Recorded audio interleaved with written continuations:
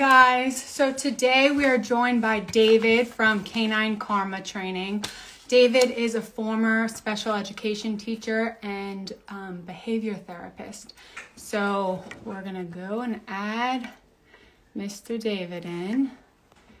We have a ton of questions, like five pages worth of questions. Try to get through. Come here. Hey. Hey, how's it going? Good. How are you? Not bad. Nice to see you in real time. Yeah, you too. So we have a ton of questions. We actually have um, five pages worth. Wow. Okay. Yeah. So before we get into all of those questions, I wanted to talk to you about your um, personal background and how that's kind of shaped the way that you train dogs and um, your business. Uh, yeah. Um, it's definitely an unexpected, uh, fortunate coincidence to have gone to school for what I did, um, to have chosen the career path that I originally did. You know, considering later in life I would unexpectedly veer off to dog training, but um, yeah, I was a behavior therapist for two to five year olds with special needs um that wasn't like the like the degree that's not you know like the exact thing i went to school for but that's what i was doing um for i don't know like eight years or something. And i was doing that and training dogs at the same time uh, you know at, at, one point because i was doing that before i started training dogs. Um but having that understanding um that deeper understanding of behavior and behavior modification. It's not something where it's like, oh yeah, I watched that DVD.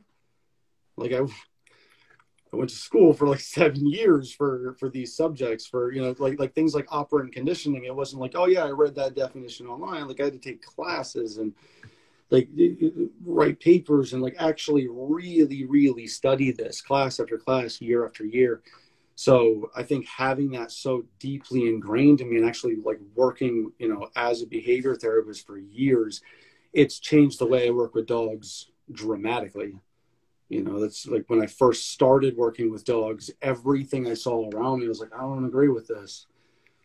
I don't like the way you guys are treating your dogs. Like everything i saw i was like i don't that doesn't make sense to me. I don't like that. Mm-hmm. so there were things that i did like every other dog owner that i didn't agree with right? Like you know you've done things with your dog that you now look back on and you're like, fuck, you know, like I shouldn't have done that. You know, mm-hmm. I shouldn't have. Like what a stupid thing to do. It was so obvious, but it wasn't because you didn't know it. Mm-hmm. Like what sorts of things are you talking about? Um, I mean, there's there's there's tons. Like I was I was explaining to someone uh, today the consequences of of you know rewarding your dog for begging for human food and how much how drastically that can change your relationship. And I, I can't like I'm not gonna fall down that rabbit hole on this because it's a very long, like full explanation to fully get it. But um, when I just explained to them, I was like, your dog is li- like they're not begging. Like they don't need it. Your dog's walking over, going, "I want that. I want that. I want that. I want that. I want that." And you sit there and go, "Okay, and give it to them. Like, how do you think that affects your relationship when you do that and then you sit there and have the nerve to tell them what to do? When the dog can walk over and like they, they get whatever they want when they want it. And they just sat there and they're like, damn. Because they didn't think about that because they do it like crazy. They get, Their dog begs bad though. Mm-hmm. Like they, they can't eat without the dog being all over them. And when I explain that, they're like, that's so obvious that that's so conflicting and, and, and contradicting with everything else that we do in our relationship. I do that one thing and then two seconds later yell at them for something and the dog's like confused because that doesn't make any sense. Mm-hmm.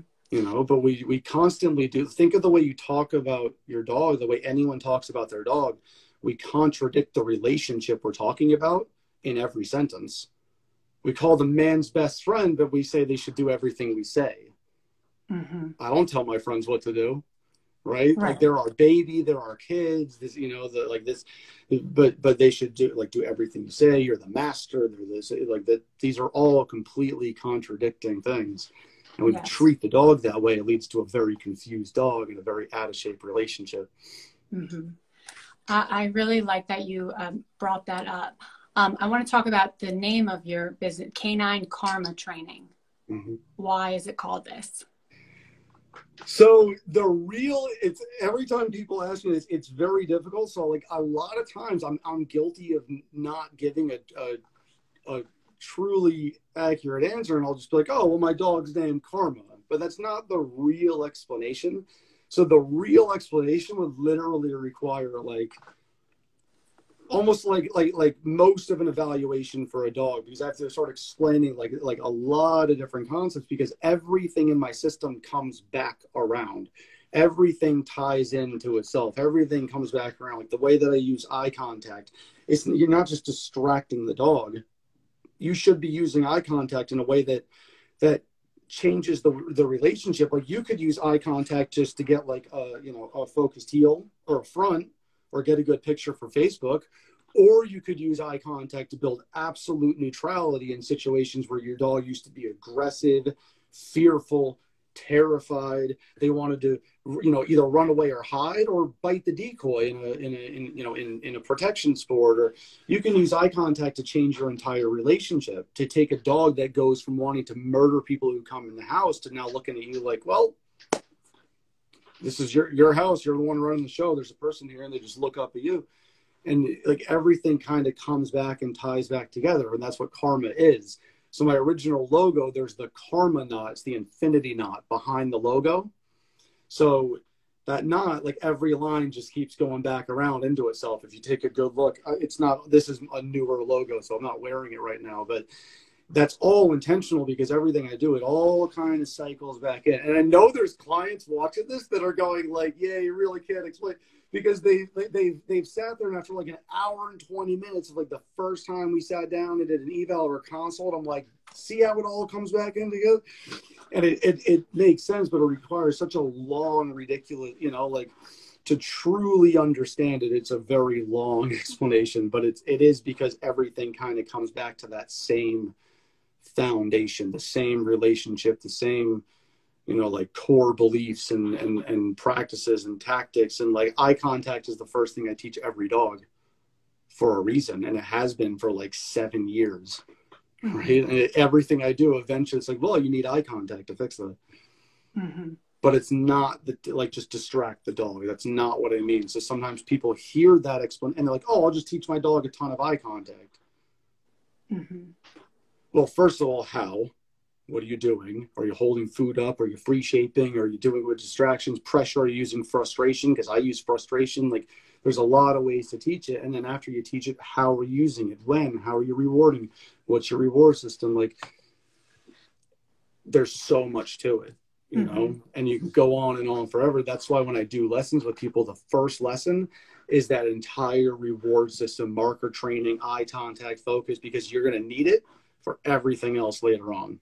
Mm-hmm. Because it's all going to come back to that, you know. So it's like another random example because I wasn't planning that, but that's another example. It's all going to come back to that one. Mm-hmm. Uh, but there's a lot of examples in my training where it's again, yeah, all comes back to this. So it's mm-hmm. harmony.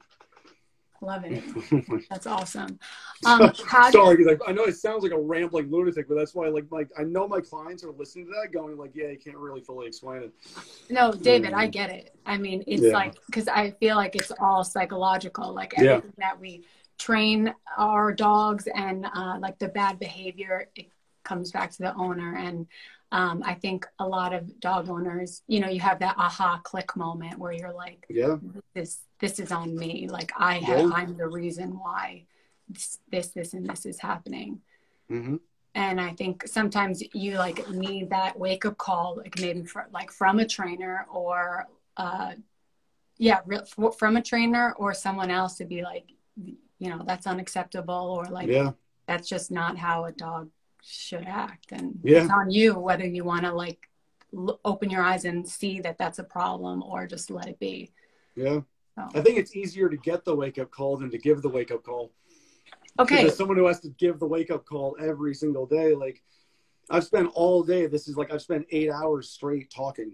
Just like because that's what doing lessons is today especially online. I spent eight hours like i my last lesson ended 20 minutes before this. Like that's what I do all day is let you know like and it, it, it's it sucks to be the person to give the wake up call but then at the same time you know that that wake up call just changed everything right. You know? and and a lot of the times people are paying for that wake up call yeah. know? yeah. Like they they need it. And they want it and you know it's yeah. Okay how do you give the wake up call? Uh gently.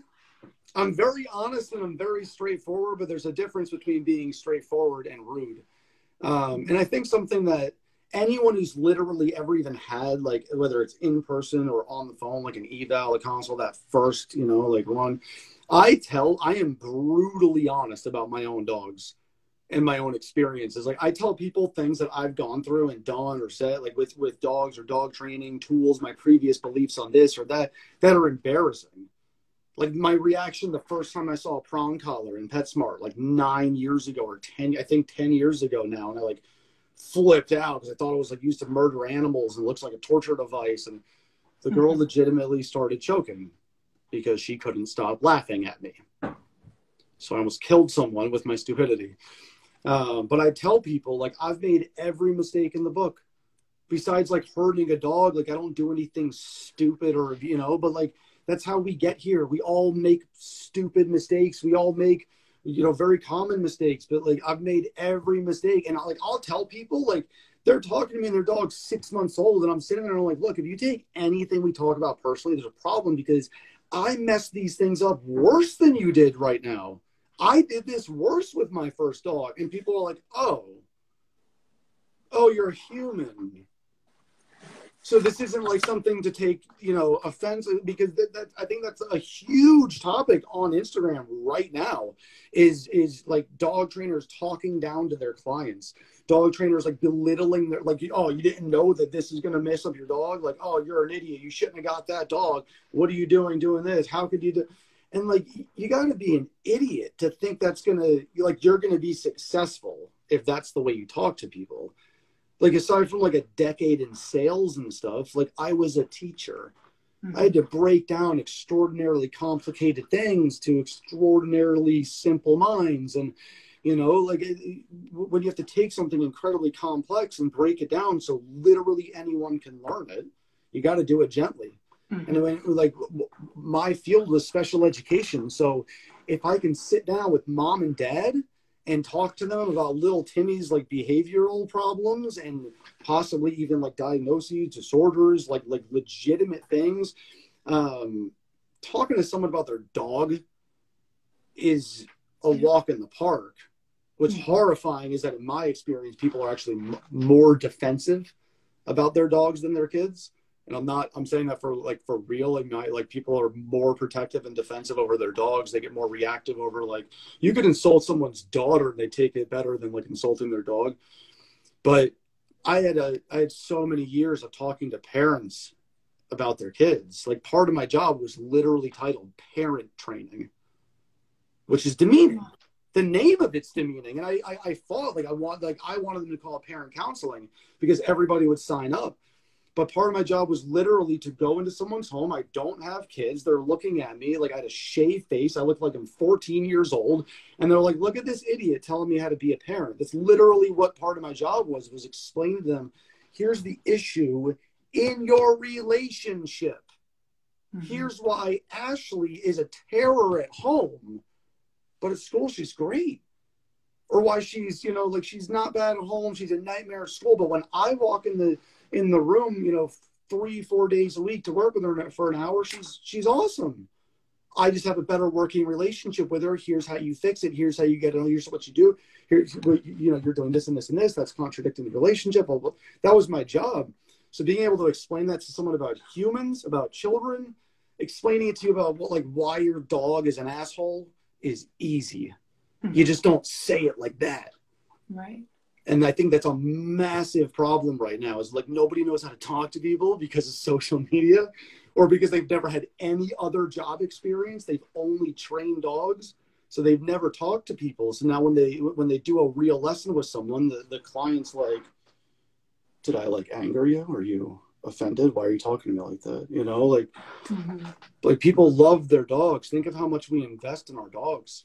Nobody wants to be talked down to about what they what they did wrong right? Right. Like especially when you know you've done it, you know that trainer talking down to you has done the same stupid mistakes at some point Mhm. or worse.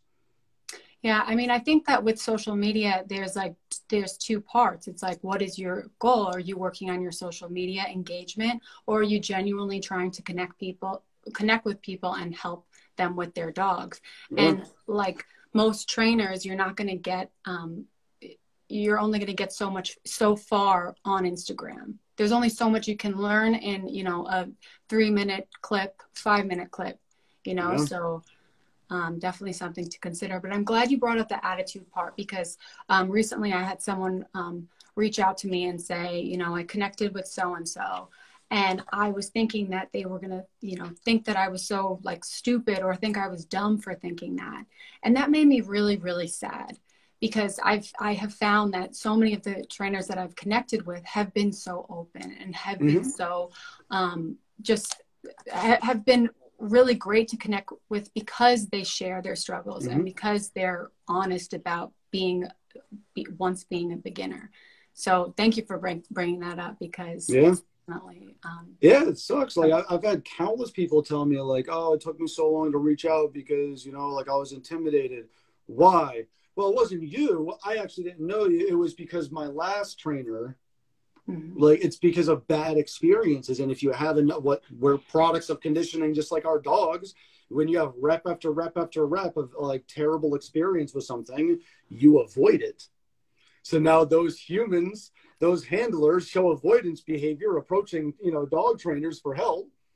Just like right, like it's all the Mhm. same thing. Mhm. So like it, it, it's it's sad, and like I've I've heard it forever. I've heard it my entire career, and it's like how you said, you know, you can only you go so far on Instagram. Like I wish people really understood that because that that statement can be said in a lot of ways. As dog trainers, you can only go so far on Instagram, and like if if it disappeared today, where would most people's businesses be right now?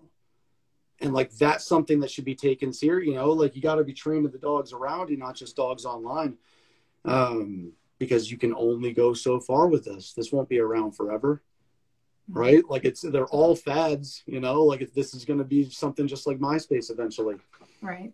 right so then where's everyone like go anything else. Yeah. yeah Um, I'm so bringing up experiences, positive, negative. Um, I want to talk about your manicures and your nails and uh, basically like how the heck do you do it? so first of all i'm not like a groomer or some crazy specialist. Um it's not like that i am i started doing my dog i bought a $66 fold up grooming table that's still in the other room right over there that i still use to this day. I just used it yesterday. Um and a dremel because the way my dog's nails were being done and the way she was being handled by the unfortunately inexperienced employees of the large business that I was taking my dog to get their nails done at. We're conditioning her to have pretty horrible reactions to having her nails done. So, this dog that is like obsessively in love with every human being on the planet was developing some terrible uh, behaviors and feelings about having her nails done. So, you know, to avoid them like creating like a serious problem or even a bite in my dog because of what they were doing with her, I bought a grooming table and a Dremel and I was like, I don't know what the hell I'm doing. So I'm just going to figure it out. Um, I did go to a grooming place like eight years ago and I actually paid the guy like $150 if I could just kind of like hang out for an hour, like kind of like watch what people were doing. Um, so I did that. Yeah, like and the guy thought it was a whack job, but he's like, like I, I think it was also because I offered him like what he I didn't realize 150 was like a ridiculous amount. I, I could have given him 20 bucks, Mhm. and he told me that when I left. Like I could have given him 20 dollars, he would have let me hang out. But I gave like 150 bucks to like like see what these people how they're going. You know, it's really not that hard. But like my focus on it isn't like I'm not like some hardcore like my dog's nails are perfect like karma for example has naturally super long uh quicks in her nails so her nails are always longer than i would like the other two dogs are fine though and i do her nails but i'm not like hardcore religious about it but it'll it, it rather than you taking something and putting it in the hands of someone else this is something you are responsible for and you could do yourself and should be able to do yourself. Like you should be able to do your dog's nails. And if you can't if your dog is like oh yeah we can cuddle on the couch for hours but if you touch my foot i will fuck you up there's a problem. Like that's a relationship problem. There's a lack of trust there. If like you can't handle your, your dog in ways like that like and i know people are probably pissed right now like people get mad when i talk about this stuff but like i'm sorry it's true like my dog used to show her teeth to me i'm not being a dick like i'm I'm saying it from because I've done this with hundreds of dogs besides my own. Like my dog used to show her teeth to me. And if, if you get like a little close, too close to a vein without looking at you, she'll like her lip will curl back because it's like those old instincts. And she'll be like looking over there, and like you'll see her lip curl back. I don't even say anything because it's just like she's not doing anything. She would never bite me, hurt me. Like, but I was taking something that's a serious bond and relationship building activity and paying someone $15 or $20 to do it for me. And they were butchering the like like you know behaviors in the process teaching my dog that this is a horrible miserable thing that you should defend yourself from they're going to hurt you because they did it over and over and over again you know like but like why would you give that opportunity to someone else when you could use that as like a bonding and trust building exercise like if you can't do your dog's nails fix the problem. That's a problem. Mm-hmm. You so, know what I mean? Like, yes, definitely. The thing is, though, with with um, like grooming or with nail nail clipping, you don't see a lot of people clipping their dogs' nails. I think you're the only one on Instagram I see, you know, doing doing your dog's nails. Oh, so, that's like, horrifying if that's true. But like, I, there's a few. Uh, so like, I, I, know people do it, but um, I guess yeah, it probably isn't talked about enough. Like I personally don't like clipping. Like it scares me. I don't want to like clip too close because even if you clip really close to the quick, but you don't get it, the clipping splinters the nails and it's compressing the nails. So that vein is in there and you're compressing the nail around it. It hurts, and it hurts a lot more than the vibration of a high quality Dremel. Like when people buy like $30 pieces of like generic garbage off Amazon and that's their Dremel, like it's going to be rough, you know, like it matter, like mechanics matter. The smoother that, you know, rotation, the smoother it's going to be for the dog. Like the less, you know, like traumatic of experience, you know, if, if, if you want to put it that way. Mm-hmm. That's why, like, I, you know, I use a hundred dollar Dremel and some people like, oh, that's too much.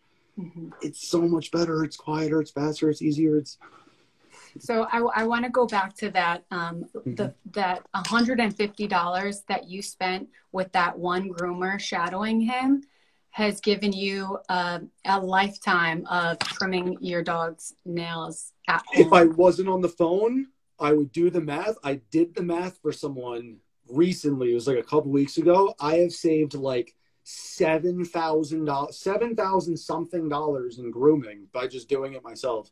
Like that's a minimum. I've saved at least it was like seventy six hundred dollars in grooming. I believe that. Like yeah. that's that's absolute. Well, actually, that was math for one dog. So that was math. That's how much I've saved for Karma was seventy six hundred dollars in grooming for her. What about the other two? Oh, yeah. Right. So like it's it's, it's got to be like twelve thousand dollars, like yeah. something absolutely ridiculous. And that's another reason mm-hmm. you like you can spend a hundred dollars and save ten thousand over your dog's life. Like that's mm-hmm. ridiculous. You know, like how could you not do that? Right. So okay, I want to rephrase this. What are the benefits of trimming your dog's own nails? Why should I um, invest in a Dremel for my dog? I, well, the, I, so I don't want, first of all, like just disclaimer because it's 2021. I don't want a bunch of people going out with a Dremel and like filing the dog's nails down. There's blood all over the fucking walls, and they're like, "He told me to do it." Like I didn't say anything. I didn't tell you how to do it. I'm just saying, learn how to do it. Pay someone, you know, like learn how to do it. But it's a you can it's if you do it properly, like if you do it the way I would do it, like using like like reward system and everything, like it's a bond building exercise, it's a trust building exercise, but there's also a lot of ways to do that. So I taught a client a couple months ago putting their I don't know if you've seen what I'm talking about, but putting their dog up on cans, like coffee cans, like balancing up on coffee cans. They did a bunch of trust building exercises like that, and the dog won't let them do their nails. So with the dog up on cans, I told her to get the Dremel and do the dog's nails. So she did like an entire paw. The dog just stood on the cans, let her do an entire paw. And I'm like, awesome, put them away. That was made. Like, get them some water, like take them down, reward them, put them away, do the rest another time. Like, me because, but there's way, there's reasons for that. Yeah. So when you understand how that behavior works, like when you understanding stress, there's not just stress, there's distress, the negative, and there's eustress, which is positive right? And stress can can have like truly beneficial things but and i got it from that man right there who just commented with a little emoji from jensen because like like like that's a that's a phenomenal trainer that you should talk to. Um but channeling that like i already understood a lot of that and do a lot of that in training but then like talking to someone like him where he has that down to like a science you can do things like that. Like it was never about putting the dog in the coffee can. So if a bunch of people like just run out and buy cans and like put their dogs on cans, There it's not going to do anything for you. You got to understand why and how, and like there's a whole process. Like you're going to see all these pictures of dogs on cans for no reason. But wait, David, I want to just stop you because mm-hmm. I have a little bit more faith in the people that are watching and the people that are people like me who, oh, who pay for you know that um, really respect our trainers and um, pay for training sessions and want to learn you know like this is yes you you can have you know joe schmo that's like oh cans you know and and does all that but like really like talk to me you know like i literally oh, just got a dremel you know and like right. i actually like right. how should i introduce and like like this yeah, is... absolutely. Like, well, I say that because like the cans specifically, that is a thing that people see it, so they just do it, mm-hmm. and it's done. All it's a very big thing. Like people just do it, but it could be a super productive exercise. Mm-hmm. Just like doing your dog's nails, it could be traumatic if you're just grabbing and forcing it to happen, yeah. or it could be a really productive bonding exercise, right?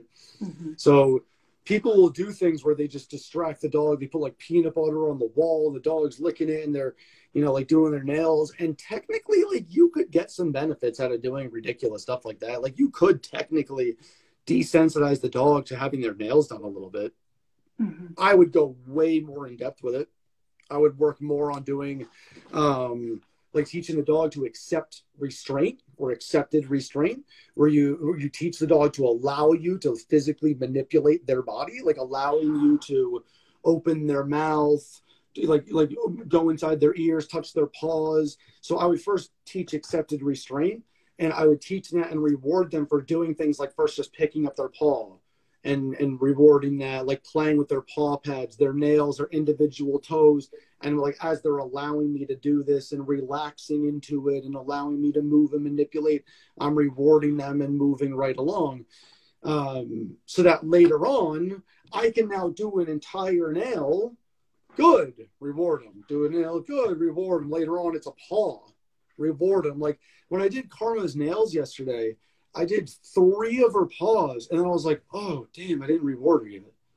Cause she was so good. I was I forgot. Like I was just cruising because she's she's so good. She doesn't need the reward anymore. Mm-hmm. She doesn't need like me to sit there and like just reward her like crazy. You know, and like I, I also did stuff with her. Like I used to take her to the vet and have the vet do her nails. But I and I could do her nails. But she one, she would let them, she was fine. But I would do eye contact exercises with her and I would have her stare at me and I would reward her for holding focus while the vet did her nails the whole time. Ah. And she would do it. And she'd just sit there and like take food the whole time. And so it turned into another productive way to desensitize the dog. But there's a lot of ways to introduce it. Like if the dog's afraid of the Dremel, now you got to baby step your way into that. Get them used to just like being around a Dremel that's not on. Then you turn it on, you start over, then you turn touch it to the you know, like you just baby step your way through all these things. Doesn't mean it has to take forever. It just means little steps are the way to mm-hmm. to go. Like I'm not the guy who's like, just hold their paw. Like don't that's mm-hmm. not the way to do it. Mm-hmm. Makes sense. Okay. But I don't do the peanut butter on the wall thing. I've never actually done that in my life. Like I'd rather build trust in a in a different mm-hmm. way. Mm-hmm, like, that's not my thing. But it does that I can actually see some benefits coming out of that approach. Mm-hmm. So it's not the worst well, thing I, in the world. Yeah, I mean it's the same thing like when you're giving your dog a bath. Like, okay, do you mm-hmm. um give your dogs a bath or a shower? How do you clean them? Um, so I would do it in the sh- in the shower, um, and use like I have like an extendable nozzle so I can you know like bathe them the whole time. Um, I don't like fill the tub up or anything. That'd be gross. I use like the, the you know like the nozzle. Um, but my dogs all just sit or stand there the entire time. Like they don't try to go anywhere or get out. Like the only dog that was ever a problem was when she was younger. Karma would uh, she would stand there for um, a bath, like perfectly fine. I'd be bathing her, and like 15 minutes goes in, you know, everything's perfect. And out of nowhere, she'd just be like, I'm out of here. And she'd go right through the curtain out of nowhere. And she would do it every time. I've never had that issue with Manic or Zero. They just, they literally just sit or stand there the entire time I bathe them. Mm-hmm. Like they're effortless. So it makes it really mm-hmm. easy. That's good. Yeah. I mean, everyone showers and baths all different. I see. Yeah. So yeah. common thing. Okay. Um, also, what do you recommend? How often do you recommend people um, bathe or wash their dogs? Um, honestly, it's it's not the answer people want because a lot of people want like a scheduled, you know, like every three weeks. I would never do it more than every two weeks unless you absolutely had to. But I only bathe my dogs as needed. That's it. Like if if they don't need it, they don't need it. Like Karma never needs a bath. She's like suspiciously weirdly clean all the time. It's unexplainable. But Zero needs a bath way more often than Manic right? So I'm not going to sit there and be like, well, I got to do it every three weeks, whether they need it or not. Like Zero is going to get a bath probably twice as more than you know as often as Manic. He's going to get one a thousand times more often than Karma ever will. Like I just do it as they're needed. Like you, sh- if you can, if your dog, if your hands smell petting your dog, that's gross. Bathe your dog. You know what I mean? Like when you go to someone's house and touch their dog and like you're like, oh shit, you don't want to be that person. Yeah. But that's not healthy for them it's not mm-hmm. about the like the gross factor, the embarrassment. It's just not healthy. Like imagine touching your hair and it was that gross. Like if, if you can smell it, if you can feel it in their coat, like it should really be based on that.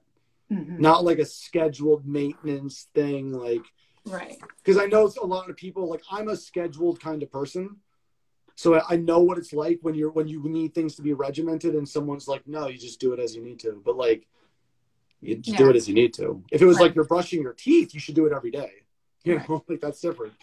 Yeah, but, it makes sense. If you have greasy hair, you know when it's time. right, like your hair's disgusting. Take a you know take a shower. yeah. Um, okay. So since you um, brought up your dogs, can you talk about your dogs? Um, each one, what is you? What is your favorite thing about each?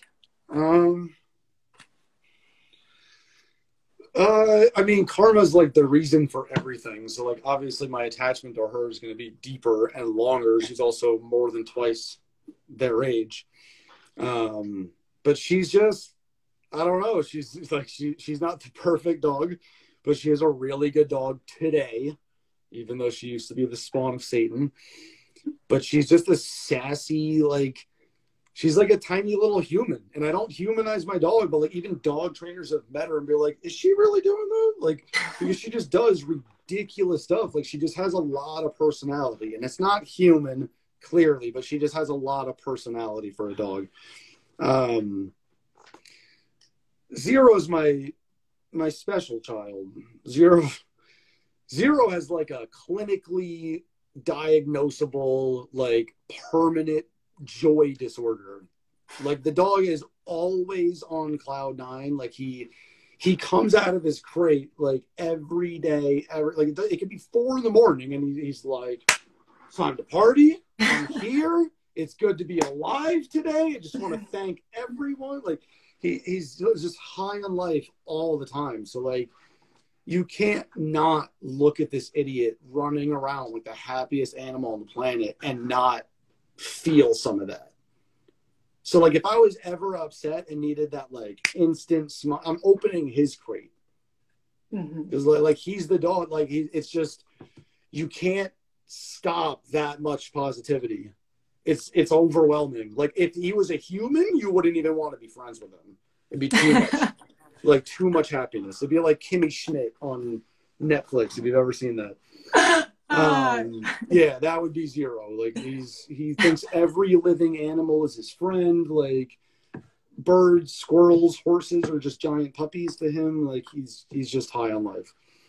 Um, Manic, I don't know if I have a favorite thing about Manic. Like he, I don't want to say because it'd be very misleading to be like he's the easiest dog I've ever had, but because he's not. Like he was, he was really challenging. He's he's not a naturally engaging dog, and everything I do is, was based heavily on engagement.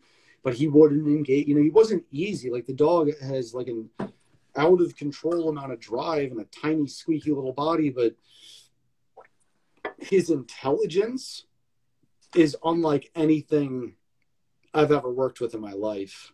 Like it's it's it, like truly unlike anything I've ever really experienced. But that's also what made me want him because I got to work with not I didn't train them, but I got to work with both of the parents, and they understood both of the parents so well, especially Puma. Um, but the dog's intelligence is just out of this world. It's also my living nightmare and the biggest challenge in training because he is so freakishly painfully intelligent. So he'll anticipate things that have never happened that he shouldn't be able to have known. Like he'll do things and I'm like, we've never done this. I just said it out loud to you. Why did he know what was going to happen? And, and like he does things where it drives me crazy. But at the same time, his brain is why I'm able to do all the crazy stuff I, am able to do with him, you know. Mm-hmm. But he's just this bomb-proof, crazy little dog. So I. Question: you know. What came first? D- did you um? Well, how did you get into PSA, and did you get Manic um, for PSA? So I I got into it. I contacted Jonathan um, because I was interested in doing bite work and getting into it, but I was looking to do IPO or IGP or Schutzhund or whatever. Um, that's what I was looking to do. Uh, and he converted me. Um, it didn't like take much. I, I like saw like one session of, you know, a dog and, uh, you know, with, with a bite suit. And I was like, all right, I'm sold. Let's do this. But I also like, I didn't understand anything about any of these sports. It, it wasn't like I had a lot of years of education about it. It's not like I really knew the inner workings of Schutzhund. You know what I mean? Like I didn't know what the hell I was looking at. Like I didn't know what I was looking at with PSA. But at the time I looked at it, I was like, this is amazing.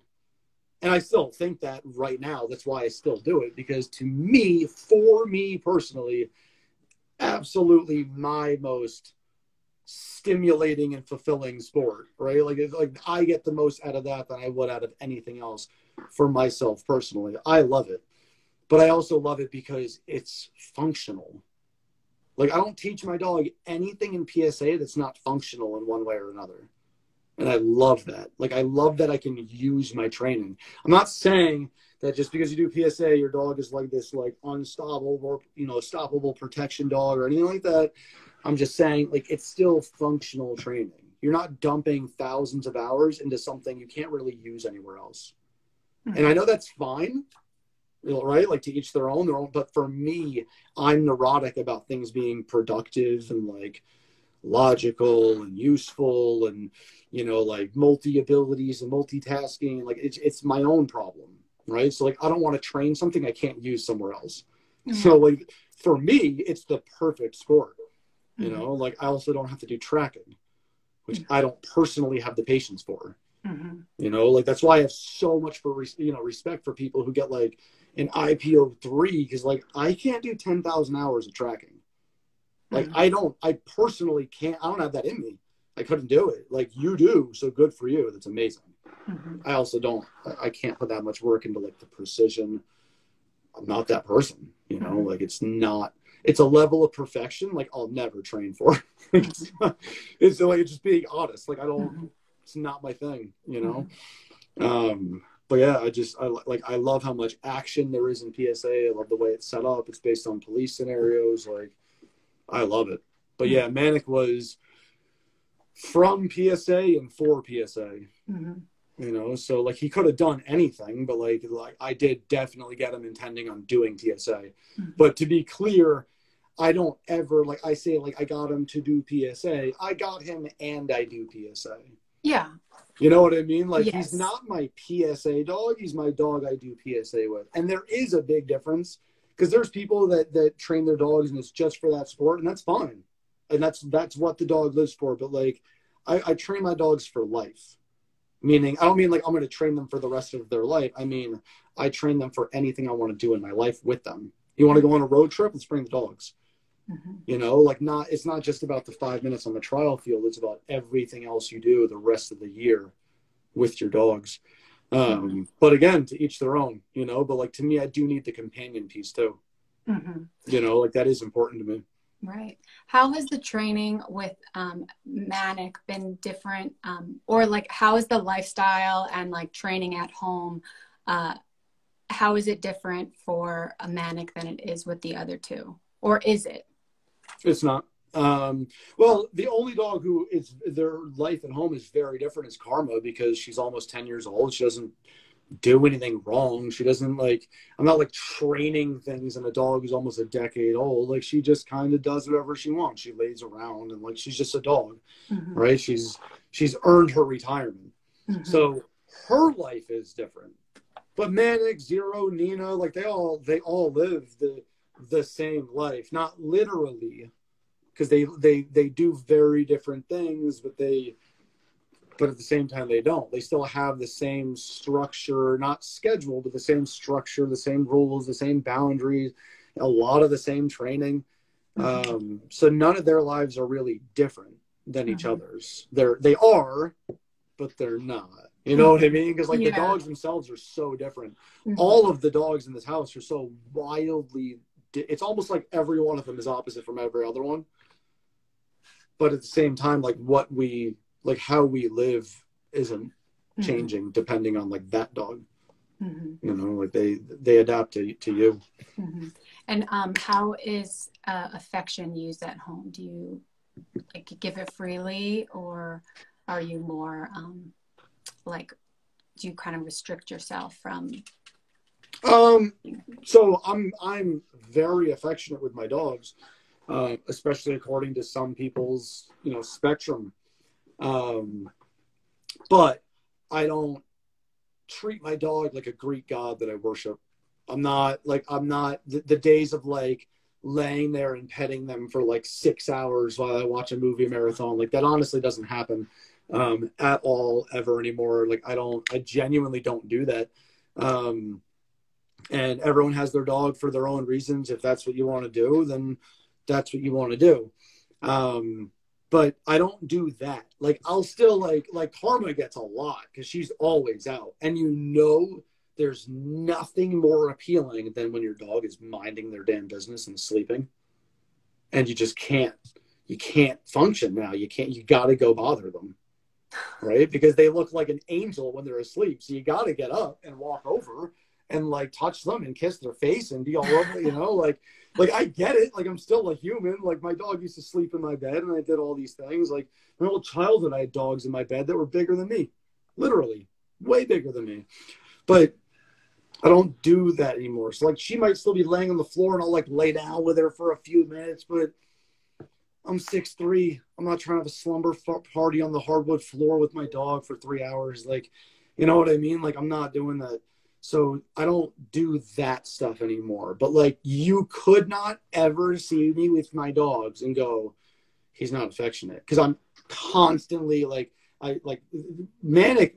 My touch is like heroin to him. Mhm. So like when he has a toy, I can I can literally just touch his face, and he'll just sit there and hold the toy forever because he's like, oh my god, he's touching me. Like I can reward him with touch. It's actually a very important thing for him. I can also calm him down with my touch.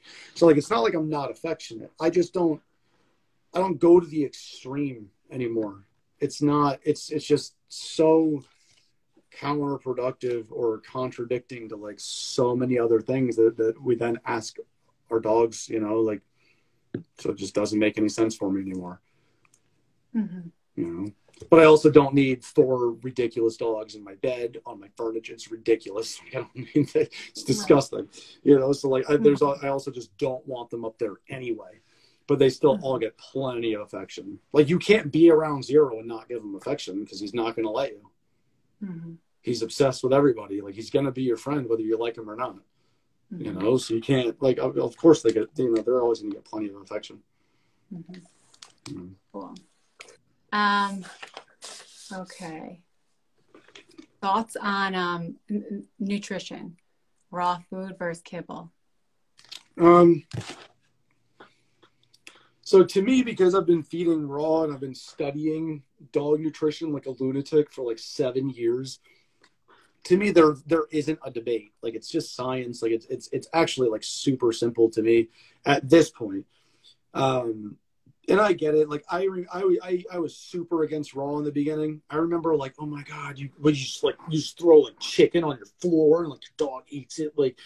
And now like clients say that to me, you know, and I sit there and I'm like, no, that's not what we do. Like, you know, like I understand the apprehension until someone reminds you that your adorable little fluffy bear is a flesh eating predatory carnivore biologically engineered to slaughter and eat still bleeding flesh. So, yeah, they're not supposed to eat man made, like hyper processed, disgusting factory food. Doesn't even make any sense. So, like, we, um, we have a boarding train that just got a brand new bag of Merrick and it was filled with worms. Like, how are how are people still giving this to their dogs? And I like I, I don't mean that literally. Like I get it. I fed kibble too. Like sometimes you just can't feed raw. Sometimes it's just not feasible where you are, what's going on, what you're doing. But for people who stay away from raw because they look at it and go, I can't afford it, do the math before you write that off and walk away. Because if you have a small dog and you think you can't afford raw, you've never done the math Mm-hmm. because a lot of people i've done the math for clients is even with kibble going from kibble to kibble like most people could save a lot of money by actually improving their food so i see people who feed like blue wilderness which is just hot garbage and they're spending like $78 a bag and they upgrade to nature's logic and it's like $64 a bag but that higher quality food also has higher calories, which now requires less cups of food to get your same caloric intake for the day. So your dog isn't as lethargic and bloated from overeating. To Mhm. like if you wanted, you know, a thousand calories with Iams or a thousand calories with Orijen or Nature's Logic, there's a drastic difference in how much food it's going to take.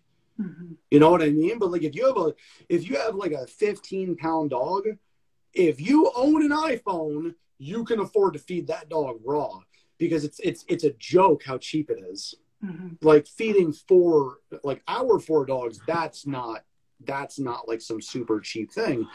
But even then there's you could get clever. You know, like like there's a duck farm on Long Island that like we go to and we get you know massive amounts of stuff and save a ridiculous amount of money. You're not going to find that in the grocery store Mhm. you know but like if you do the math first you might save money feeding raw Mhm. but if you're not going to feed raw it doesn't mean all kibble's the same Right. so like it like people ask me like a million times so far my answer is still nature's logic nature's logic nature's logic because people are going to ask you after this video they're going to ask me nature's logic Wait, is Um, nature's logic um like patties, like prepared raw? No, no, for, that's kibble. So if you're if you're going to feed kibble, that's the only brand I can recommend at this point. If you're going to feed Got it. raw, that's different. So if you're going to feed raw, to me, you got to do it right. An So- unbalanced raw diet is worse than a bad kibble. Literally. So like if it's not balanced, it's it's it's going to be damaging. So if Mhm. you go, if you're going to feed your dog a raw diet, to me, you should do it the right way. It'll also take like five years of research out of the picture, and just go get a customized raw meal plan. That doesn't mean like go anywhere, like research who, who you're going to. Like we use meal plans um, made by Erin at Raw Pets Rule, uh, like Raw Pets Rule on Instagram. Um, we use meal plans formulated by her because she's amazing, but it takes all the guesswork out of it Mhm. all the like trying to figure out ratios and like calcium to phosphorus ratios and how much bone content is in a duck neck. Yeah. You know how long it takes to research? Like I have Mhm. piles of notes over there actually from like six, seven years ago when I was doing all that research for the first time. It's a lot. Mhm. It, and it's hard, you know, because you go online and everyone says something else. Mhm. Everyone says something different. Like about kibble, everyone says something different. Mhm. You know, so you'll see, um, you'll like, I say nature's logic, and you'll see someone else go, "Oh no, that's not. You should feed this." In my in my experience, nature's logic is not. It's it's not not to be gross, but like when a dog switches to raw, the amount of feces that they now have is reduced dramatically, right? So that does not happen on kibble. But nature's logic, it's kind of like in between because it is reduced. Like, I, like I've switched countless board and trains from whatever garbage they were eating, like Science Diet, Purina, to to Nature's Logic, and the amount goes down notably. And as like the the rate at which that now decomposes outside, it like goes up dramatically because the dog is actually retaining more of the nutrients.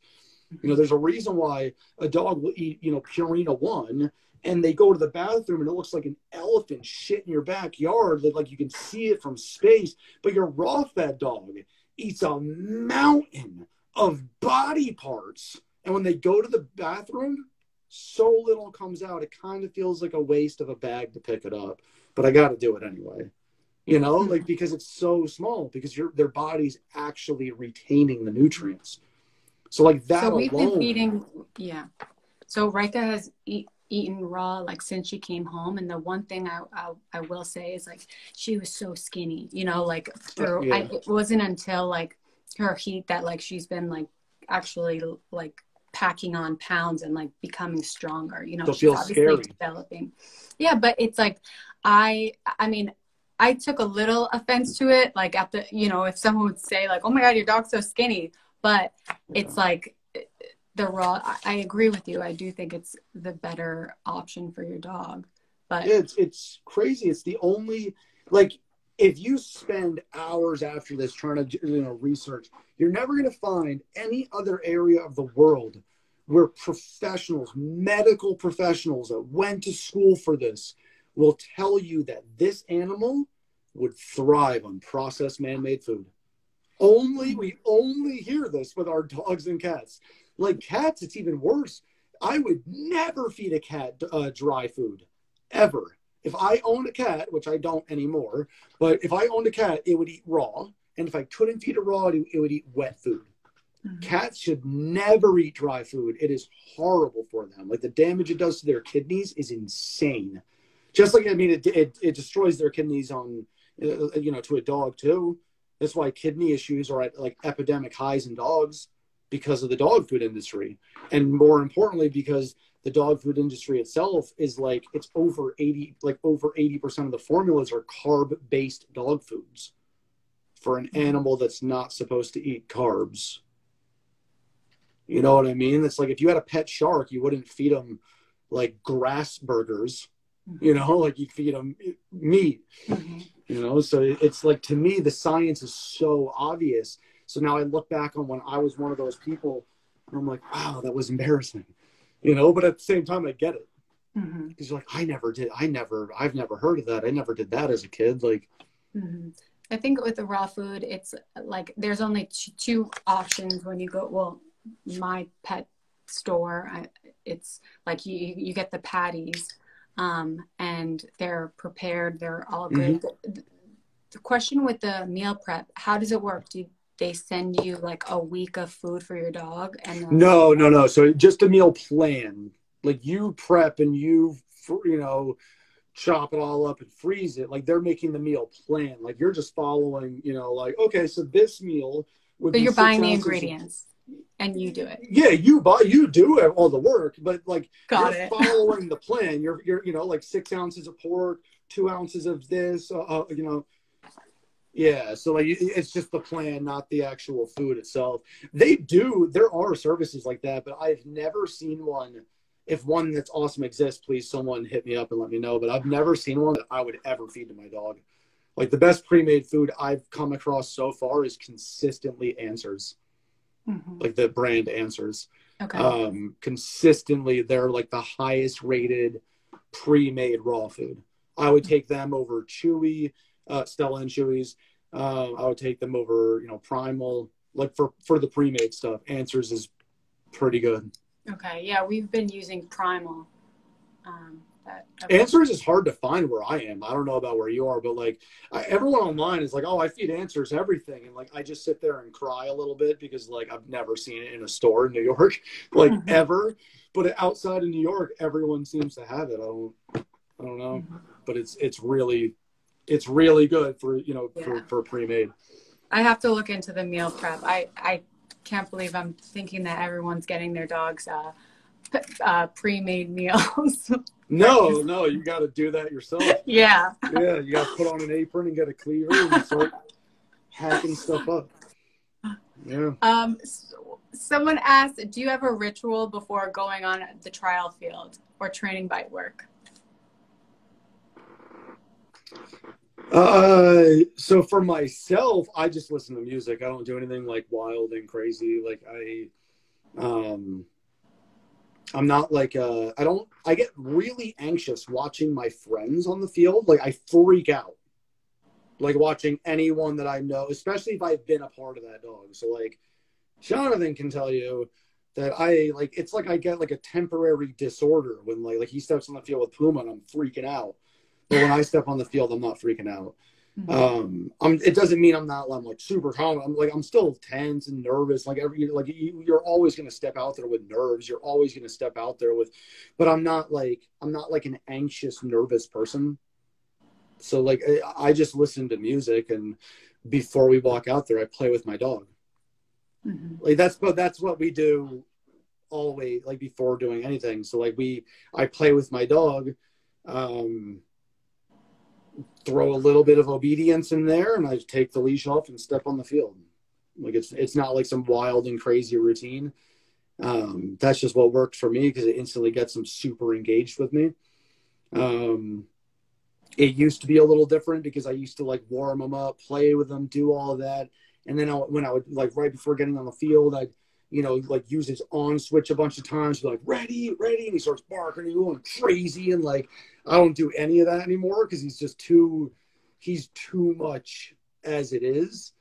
So like now I'm just working on keeping him as calm, as calm as possible on the trial field, which if you've seen him, calm is a relative word. Um, so he can be like completely controlled, but he'll be like barking and like raging but he's still focused the whole time. So now I'm just trying to keep him calm. So I took out all that like amping up, and now like we just play and we go on the field. Mm-hmm. When did you realize it was like it, too much the amping up?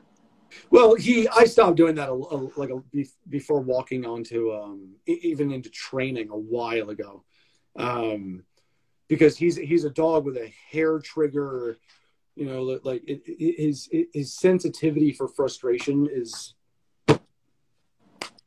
through the roof you know? So he like he's a super clear-headed dog. Even when he's jacked up even when he's for that's why i love him because he's still like he's just like puma when it comes to that like unstoppable laser focus. Like you could never talk to a decoy that has worked with puma before and isn't blown away. The dog is is out of this world. Like she is on another level. And her brain, it's like the dog version of the Terminator. Like she is clear headed all the time. That's manic. He just sounds like a lunatic. Because now that he's maturing, he's maturing into his father, and his father was a very loud, vocal dog that would like bark as he's heeling and like so now Manic's like maturing into all that stuff. So like I I actually stopped amping him up before he started maturing and getting worse. So now, now it's like thank God I stopped that because it would just be getting worse and worse and worse and worse and worse. Mm-hmm. You know, like I don't that dog doesn't need to be amped up. Mm-hmm. Like he could be in a coma, and if I just go ready, he's like ready to go to war. Like so he doesn't need any more help with that. Mm-hmm. Um, question on um, play. When you're when you're playing with your dogs, um, how do you get them to focus on you as the game? um, rather than like them trying to possess a toy from you? So that's a really loaded question. There's a like there's a lot. I can't technically give you like the full answer because it would require like way more than just like a quick explanation. Um, because it's a whole system that makes that work. Like you can't just do this or that. It's not about the toy. It's not about like there's a lot of tricks. There's a lot of little tricks like keep a leash on them. So like I'll do things like I'll put like a 10 foot leash on me and I'll clip it to my belt and I'll run away from them. Right. So like if you get with that out of my bubble, like the little bubble of engagement, I'm gonna run away. And if I get to the end of that leash before you see, you're gonna feel that like you know that like tug or pog, you swing around, you run back to me. So there's there's ways to teach them like always come back, always come back, always but they're all just little tips for a much larger system you know so like teaching the dog like i posted a video and uh I, I posted a video a while ago of manic and i i had like a handler vest on so i just took out a random toy and instantly started playing right so as we're playing i took say it was a tug i don't remember what the toys were but say it was a, a tug i pulled out a frisbee Yes, he let go, started playing with that. Pulled out a ball on a string. Yes, let go, started playing with that. Pulled out something else. Yes, let go, started playing with that. He didn't drop it, pick up the ones off the ground. He was just like, let's do this. I just want to play with you. With. But it's not as simple as just do. There's so much that went into like teaching him that it doesn't matter what's on the ground. Teaching a dog that there's no, thank you. So I just saw that comment. Uh, teaching a dog that like it's all about you. There's so much that goes into it, but I think your whole relationship has to be geared towards something like that. Like for the dog to be like, I don't care about the toy. I want to play with you. You know, like for for a kid to be like, I don't care what game we play, Dad. I just want to play with you. Like that's got to be an incredible like relationship you have with your kid for them to think that. Mm-hmm. You know what I mean? or well, maybe you neglected them, so they're just desperate. But like, you know, like you like you have to have the right relationship. It's not just about like it's never about the toy, ever. Because if I pick this up and went, man, it's ready, he'll work for it. He'll work for anything. It's, it's it's just the way I trained them. And there are little tips that do matter, like use a leash, always get the dog to come back, um, or constantly change your reward when you use toys. Constantly change what you're using. So I think people fall victim to like, I would never use this, but like, this is my dog's favorite ball. So we use it every day in every session. And that's a really normal thing. Like, uh, oh, my Starmark ball, like, that's my go to. That's part of the problem. Like Karma would never let go of a baseball to play with a frisbee. Like she literally just walk away from you, like like disgusted that you would even think I would play with this insignificant toy. I have a baseball because I created bias by only using the same thing over and over again. So with Manic and Zero, and Zero Manic is way more like this than Zero because like Manic, I can literally take anything. So I can be like, take this clicker and be like, you want to work? And he will. Like, he doesn't care what it is. He's just like, I just want to do this with you, man. Like, but that's our relationship. But little things like, you know, you, all right, I'm going to start my session. What do I want to use? Okay, I haven't used that tug in weeks. Mm-hmm. Switch it up. Don't use it. It's also boring as hell for the dog and for you. Like my dog does benefit from the fact that my attention span is horrible. She's like they benefit from the fact that like I get bored doing the same thing. So like I go in my van and I'm like, what tug do I want to use now? You know, and like, or I go in the training room. It's like, what toy do I want to eat? What food? What what game? But even then, you got to keep everything you do changing, not just the rewards. You got to keep the training changing, what you do changing. If you do, if you train the same stuff every day, if I was your dog, i'd jump right out that window. Like, I don't want to work on focused heeling every day. So, you know what I mean? Like, imagine if, if all through high school, all you did was go to algebra. That's the like that's a lot of dogs. Like it's I'm not saying most, but a lot of dogs live like that. Like they go to algebra every day, four times a day. They're in the living room heeling every day, four times a day, and it's like like the, the, that dog's bored. It's unfulfilled, and you'll see it. You'll see the dog plateau. They don't work that hard for this reward anymore. They don't work that hard for that reward anymore. Like you got to keep it changing. Like with like with me prepping Manic all the way to a PDC. I only worked. I, I'm not joking. I have his training schedule. I've given it to tons of clients. I only worked on formal obedience with him twice a week.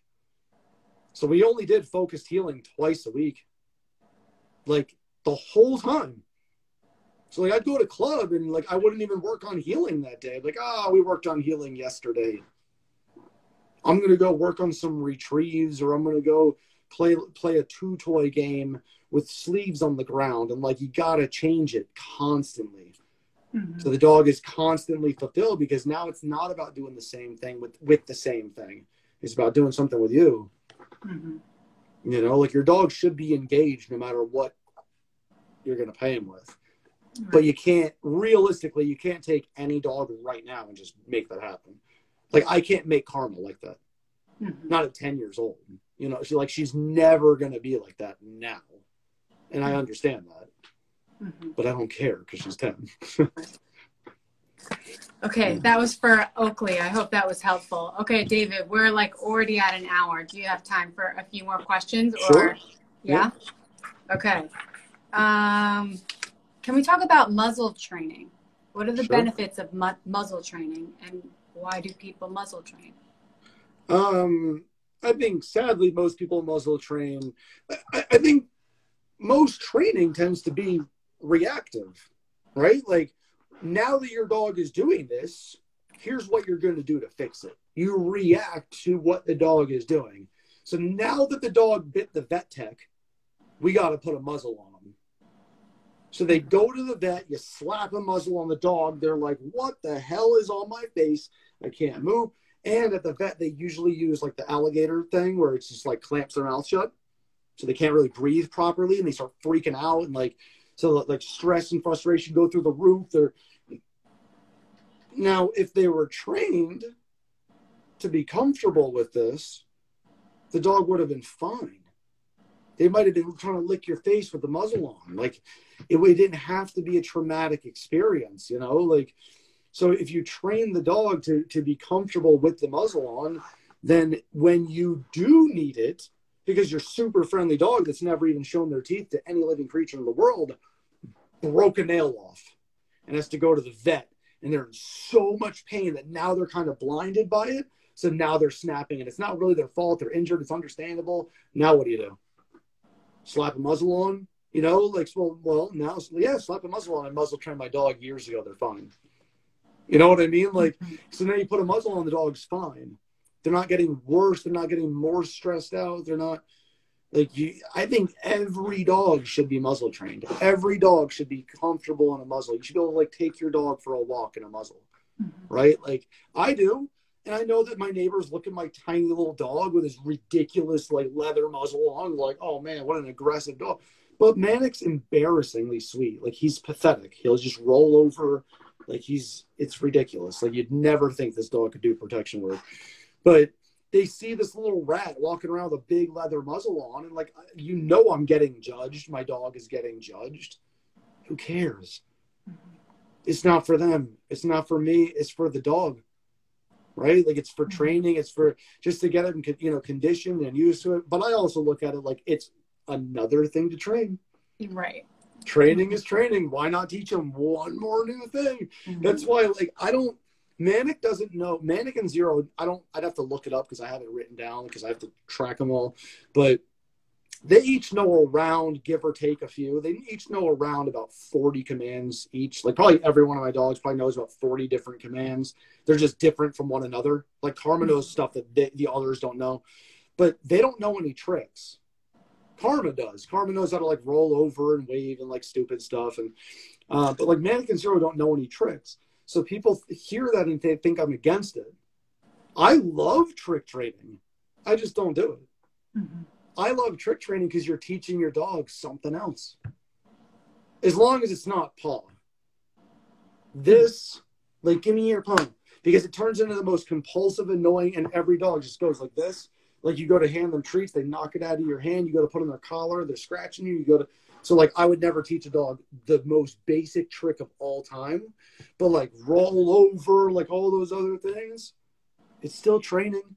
It's still benefiting them. It's still teaching them something new. It's still fun. It's still you know like it's still training. And then like muzzle training is the same thing, but at the same time, if shit hits the metaphorical fan, like your dog's going to be in a much better position now.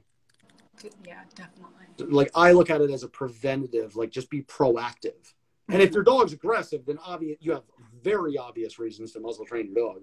Mm-hmm. Right, like, I think, uh, I mean, that's the beauty of having. Well, I mean, having a Malinois, like you have to train and you have to, you know, put time in. And I think mm-hmm. a lot of people like myself with a small attention span, you always want to keep it interesting. Mm-hmm. And like for me, like now that's another thing to add to my list of things that I would like to do with my dog.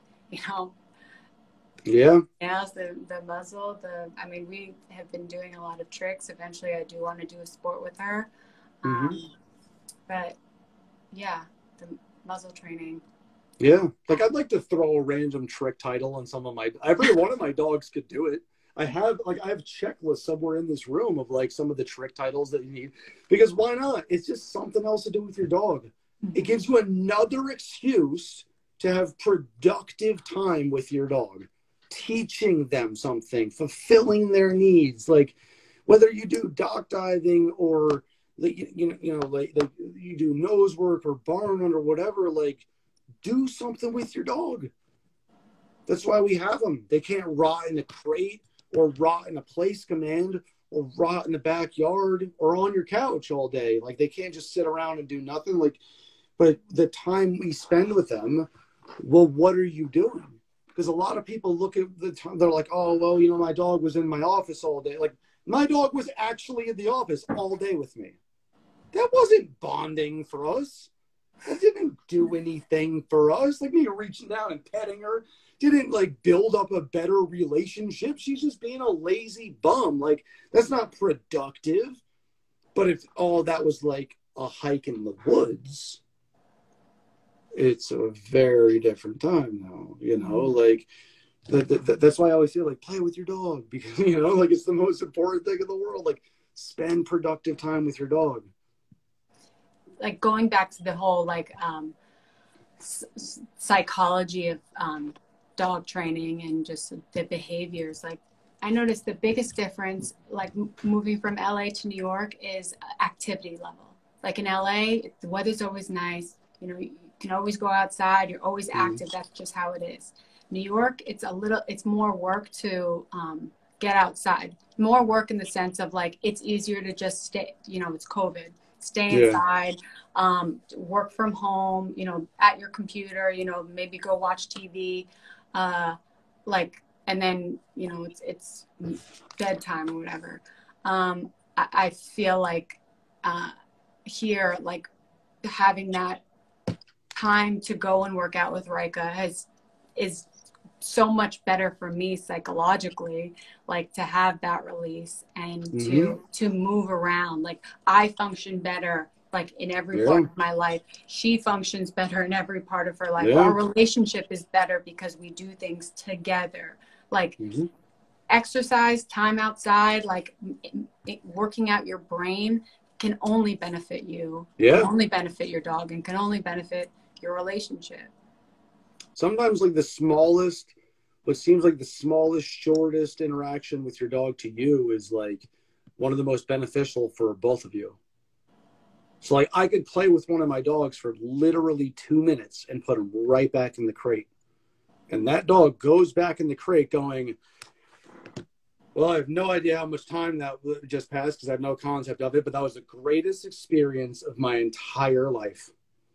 Now I'm going to sleep. And they go to sleep.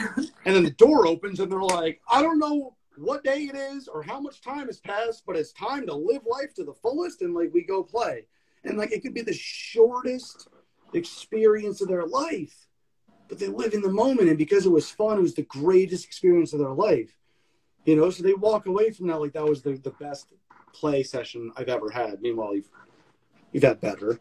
You know, like it's, that was the best ball I've ever played with, but you use it every day. It's the best food I've ever had. You, they, they eat it every day. They live in the moment. So when you play with your dog, if you do it productively, if you do it well, that's the best game they've ever played in their entire life. And then they go to sleep. And like like when you go to sleep, it's like someone went and just press pause. Your whole life stops. That's why when you fall asleep on the couch watching The Office, you wake up like your house might be on fire because it might be Saturday. I don't know how much time has passed. And like everyone jumps up and they're like, oh, it's only an hour. You know, like, cause you don't know, like your, your dog's no different. They go to sleep and time stops, you know? So like, what, what are you doing when time starts again? That's why I said like, like the, the days of me just like laying around with my dogs all day doesn't really happen anymore because I have so much more fun doing so much more with them. But I also just see so much better behaviors out of them. Hmm. Like I did that. I did that with Karma. She turned into a monster. You know, like now she lays around all day. We don't need to lay around together anymore. Like sometimes I'm coming down there and I'm going to harass the hell out of you and then we'll leave you alone out of nowhere again. But otherwise, like I, I want my time to be good, mm-hmm. positive. Then I want them to be like, that was awesome. You know, like you go outside and play frisbee. There's nothing in the world happening to that dog besides you and that game. You know, like that's productive. Um, someone asked, um, "What are your thoughts on service dogs um, doing protection work?" Of course.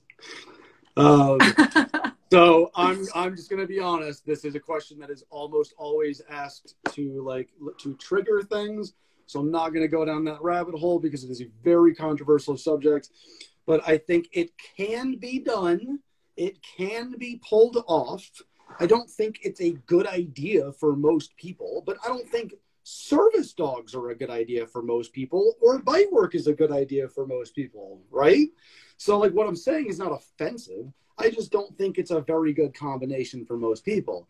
I also think that it depends on the service your dog does and the bite work your dog does. So I have seen a bunch of service dogs that are legit service dogs, and these people depend on them. And I'm not going to say who they are because it's that that'd be ridiculous. But they are very competitive in, in in IGP, very competitive dogs, and they're really really effective service dogs.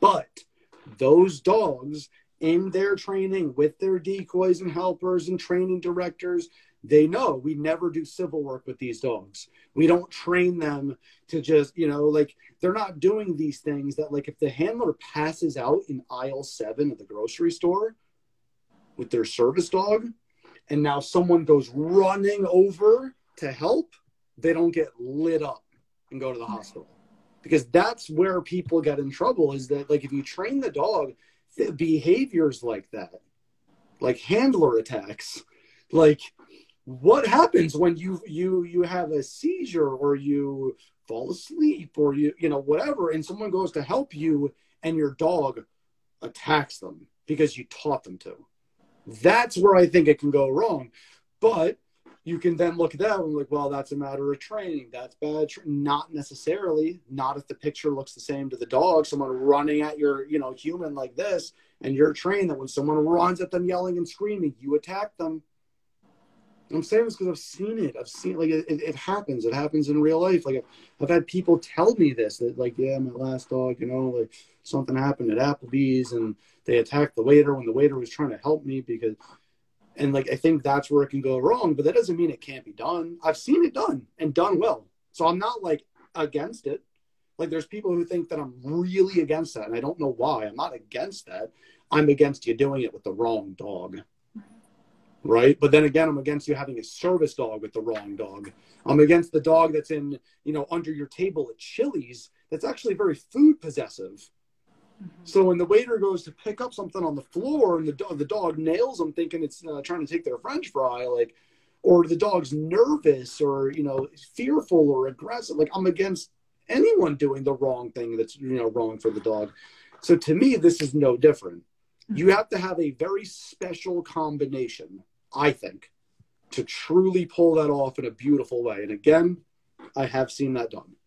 That doesn't mean it should be done, but you can absolutely pull it off.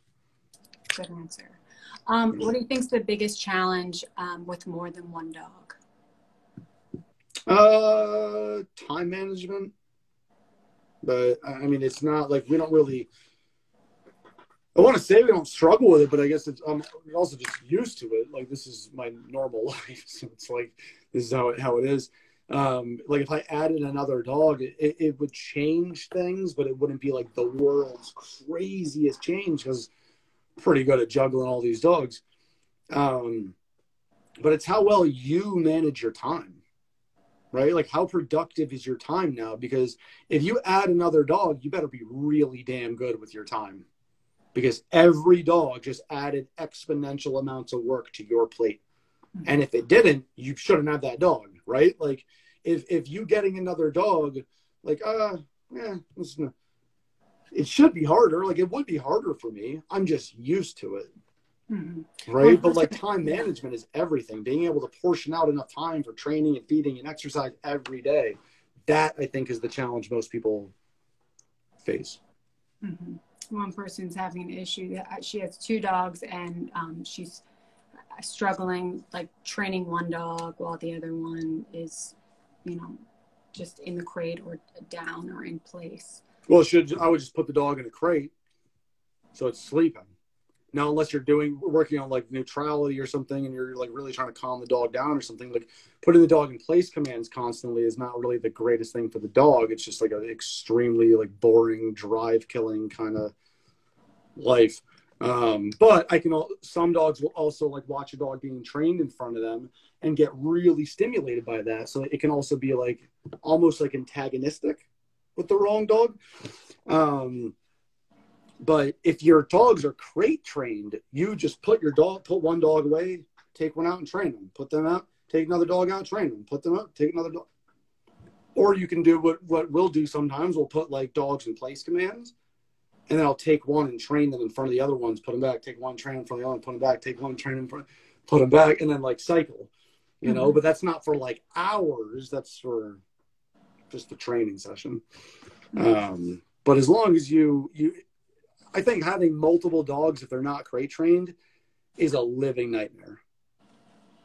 Like it's you don't have to live like a kennel, like like literally crate and rotate your whole life or anything. Like I, we don't actually do that, but I think if they're not crate trained, it, it adds a monumental level of difficulty to everything. Thank you for that. Um, the other ones are, are more specific. Um, I don't know if we should go into that. I think, do you want to call it? it's up to you. Um, if, if, if you have a few more, it's up to you. I don't know how in depth they are. Some questions are like, you know, mountains and some are Um, okay, this is a, a, one from a trainer. Um, what are your general modules? How do you manage clients? Do you use any apps like Airtable? No. Um, so I, I don't I don't do packages. Like I do things on a case by case basis with people. Um, so because of that, I don't have like like this crazy computer system to track everything.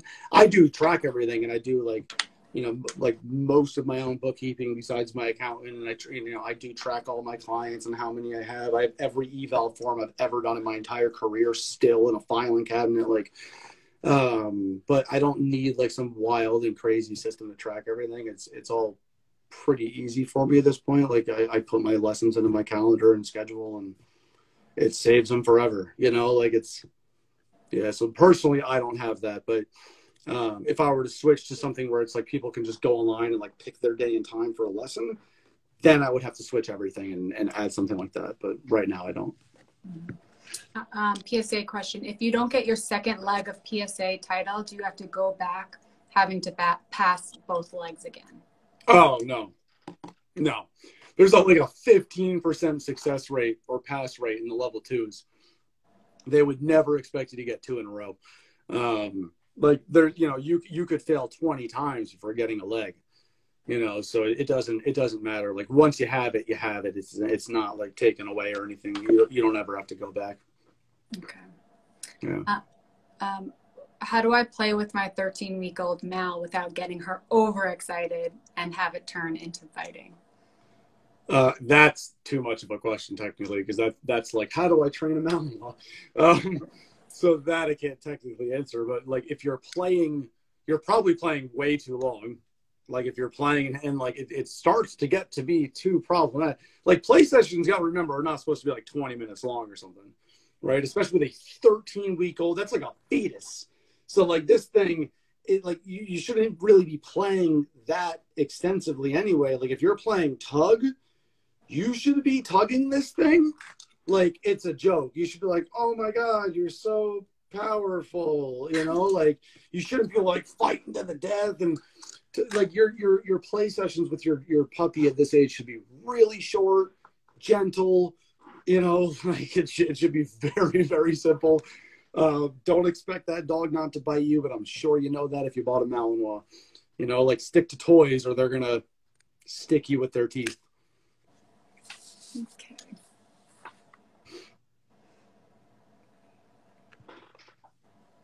Okay. How, um, how do I prevent a dog becoming collar smart? Yeah, so that that's also like a super loaded thing. But you like the short answer is um, they they need to be desensitized to wearing it and why they're wearing it.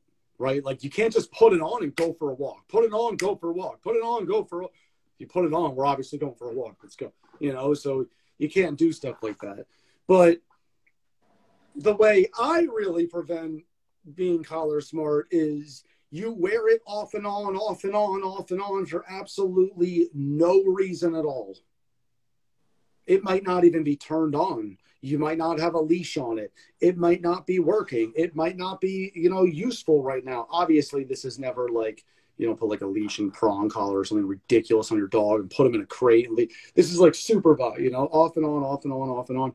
But you could put a collar on your dog that you want to desensitize them to and then walk them with something else.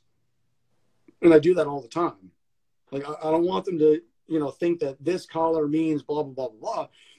So I'm going to put that on. And 45 minutes later, I'm going to walk them with a slip lead today and not even use that. But it's on. Right. So, like, like I, I do stuff like that constantly. But, like, my um, like Manic's not collar smart at all. He has no idea like what the different collars do because he's worn so many different collars. It's ridiculous. And like he's always kind of wearing different collars. So he doesn't have any reaction from having any type of collar put on or taken off. Like Manic, and I've said this to, to people before, like on the trial field, it's not like my dog is collar smart. Like people worry about collars being collar smart in sports because you take the collar off and discipline stops. So the dog's like, ha, ha, ha, I can fuck around now. And like, mm-hmm. and they do. And then you pay, you know, the dog goes and bites the decoy, runs all, you know, like because they know you can't stop them. That's not Manic's issue. Manic's reward smart. You're not going to reward me that wasn't an issue at all. Like I didn't have any issues like that at all, you know, in the last trial. But that's more his issue because the collars are relevant to him. Mm-hmm. But I also don't use the same collar religiously for every single thing I do. Like I don't live and die by an e-collar. Like that's not. Yeah. That that's why he doesn't think that. You know, so it doesn't mean anything. I like that you brought up reward smart because I my brother will say that about Rika, like, oh, she's playing dumb right now. You know, like he'll yeah. tell her to do something and then she knows that like like why does yeah. she have to do it for yep. him? I should say he was reward smart. Mm-hmm. Because when I paid the price for when he showed that he was reward smart, it was over a year ago. So like I guess I shouldn't say that anymore. Um, but because it, it, wasn't an issue at all. But he he was it was a, an issue. Like he he realized like so I'm going to keep doing this with no rewards. So motivation starts to dip. Mm-hmm. And that you know, and like it's understandable if you realize like you just keep working your ass off and like they're not even going to keep paying me for this. I'm at work, I'm doing all this stuff, and they're not going to pay me. your motivation is going to plummet. Yeah. You know, so like that's that's and that did happen in a trial with him, but it happened once. You know, but we worked on it a lot, and now it's it's not an issue, and hopefully it stays not an issue. But with his little evil genius brain, we shall see. um, what advice do you have to um, people that are interested or want to get into PSA? Uh, don't. I'm just kidding. It's awesome. uh, everyone's like scared to, to to join because like, oh, it's scary. It's scary. It's you know what? Like everyone says when they start doing PSA, everyone's so friendly. Like everyone's so friendly and welcoming, and like technically, that's not actually true. Like the dog world can be vicious, and like this, there's no sport in the world that's exempt from that part of the you know the, the population. But like honestly, overall, it's pretty damn welcoming. Like there's a lot of really good people here, and there's you know there's there's gonna be drama and there's shitty people, and like everybody knows like the Instagram cool kid group that like you know like when you first join you want to be part of that and you realize it's toxic and then you stay away like if you if you, if you choose your friends wisely it'll it, it could be the greatest thing you've ever done in your life like there it's not something to be like scared of and stay away. It's an incredible sport. It'll like it'll help you grow with your dog as a handler as an owner as a trainer. Like it'll build like it'll build you up. No matter what you do it'll help build you if you have the right dog for it.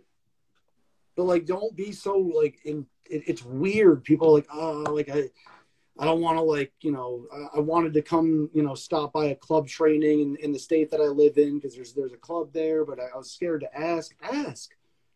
They'd probably be like yeah come on down. Like, maybe not maybe not but like so many people are just are, are like really welcoming and you know it turns into like a giant family eventually. Mm-hmm. So if you're interested, hit up a local club and see if you can check out what they're doing. It doesn't mean you can join, right? Doesn't mean that just because you have a dog, you can join. You know, like may, you might show up and go, "Oh, this sucks. I don't want to do this." Mm-hmm. Or you might show up and be mind blown. Mm-hmm. You know, like, but check it out before you like go all in because i know some people watch stuff online and they're like all right i'm going all in on this but they've never seen i don't mean psa like anything anything in life, you, you know, you can do that. You can get like really in- interested and then you try it and it's not that great. Check it out first because it's a it's a serious commitment. You don't casually do PSA. Well, if you want to win, like if you if you want to like actually do anything yeah. like on the I don't I'm not like some insanely competitive person. Like I'm not I don't go there to be like number one. I don't really give a shit about that. Like I go to compete against the sport. I want to pass.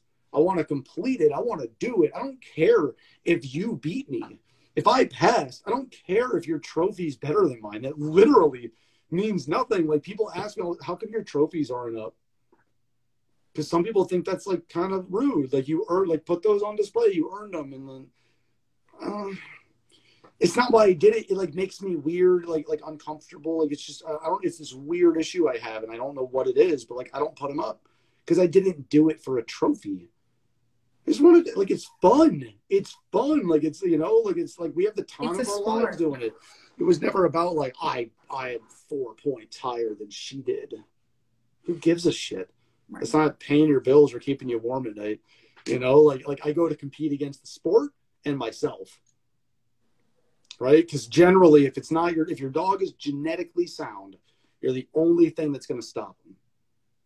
Right? Like on like if if my dog never got a three, which the chance of getting that is you win the lottery a lot faster than getting a three in, in the sport. But if my dog never got a three, it's it's on me. I mm-hmm. failed, not the dog. Mm-hmm. And like I can only say that due to genetics, but like I failed him. If I don't take this dog to the top, I failed. And I I like that. Mm-hmm. That it's not easy like it's the like it's the hardest sport I've ever seen, in my opinion. It's the hardest sport I've ever seen, and that's what I'm drawn to. That they make it so hard to pass, and I love that. I love that there's a 15% success rate in the in the level twos, and like a one percent in the threes. Like it's you know like it's nobody passes in the threes. You're never gonna pass in the threes. You're not supposed to pass in the threes, and I think that's awesome because then when you do, like you worked for that, you earned that, and it's you know like I don't I don't like I just want to pull that off. I don't I don't ever need a trophy if I ever do that. I don't even I don't even care. I just want to be like I did it. You know, like I just want to feel it inside. I don't, even, I don't even need to like anyone to know it. I wouldn't care. Like I just want to achieve something ridiculously impossible. The sport is designed to be ridiculously difficult, and I I love that. You're not supposed to be the best. You know, like it's designed for you to not dominate the sport, and that's amazing. Yes, and I want to end on that note because I think it's a I think it's a Yeah, special yeah. one, and it's Yeah, thank you so much, David. yeah, no problem. Um, I have learned a lot, and I want to talk to you. I want to talk to you more, and um, I hope to like actually meet you guys in person. Yeah, yeah. You guys are um, close. Where in Long Island are you? Uh, we're in Suffolk County. I'm actually um, probably 20 minutes. Jonathan's probably about 20 minutes farther east than me. If you know where, yeah. Yeah, yeah, yeah. Um, remind me to talk. I want to talk to you about variable training schedules, okay. like what I did with Manic. About like so you're constantly changing what you're doing on the like on the side. Remind me, and I'll Okay. I'll break that down. I, I will. I'll uh, Yeah. I'll remind you about that, and then also the Dremel that's coming tomorrow. Oh yeah, that too. Yeah, Uh, all right. dance. Have a good night, David. Yeah, you too. Hi to This Isabella and uh, to the to the pack. Yeah, absolutely. Have a good night. See you.